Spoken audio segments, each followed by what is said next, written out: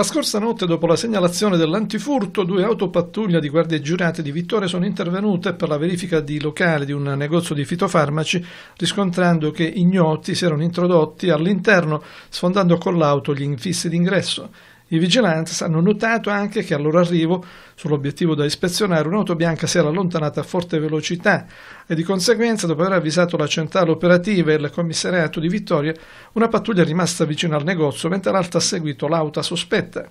Quindi, in sinergia con gli agenti locali e commissariati, in poco tempo la zona è stata cinturata e infatti i malviventi si erano subito sbarazzati del registratore di cassa rubato al negozio e poi ritrovato dalle guardie giurate lungo una stradina di campagna nei pressi di Contado Cerito, poco distante anche la Fiat Panda bianca con le portiere aperte, ma non c'era nessuno dei dintorni. Poco dopo gli agenti del commissariato sono arrivati sul posto, ritrovando all'interno dell'auto il contenuto del registratore di cassa, compreso alcuni assegni. L'auto è stata posta sotto sequestro mentre le indagini proseguono in modo serrato.